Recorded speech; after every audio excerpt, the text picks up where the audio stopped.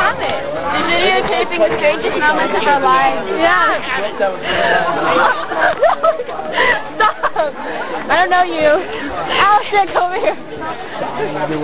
Right back to current? Yeah. But it's really, really boring, and you'll boring. want to tear your eyes out. And then I wanted to write a sequel to it The Blue Ribbon of Cowardice. About this guy that, like, he goes to war and he sees someone get shot. He's like, the hell with this. I'm going to go home and eat some chicken.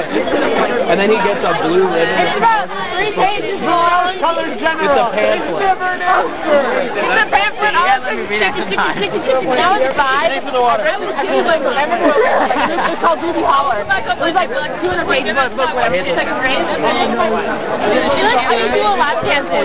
What? She said she likes to do a lap dances, and she just said that, you know, our teacher didn't provide us any food. She's gonna go over there and say like, I'll give you a lap dance if you give me some food. She likes to say that I'm her.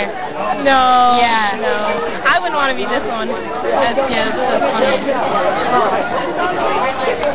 So this is the lap dance group. Okay then. When I laugh, I'm on vibrate mode. I didn't do the technology been talking about. That is the Wow. that line. Hello, auto motion. Mother pretty much Yeah, you won't be be able to read that. See, I'm from Russia, and yeah, that's that answer.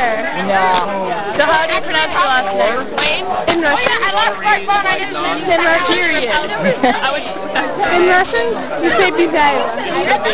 My full my full name like sounds Anastasia Sergeyevna Bizaeva. Dream dream on.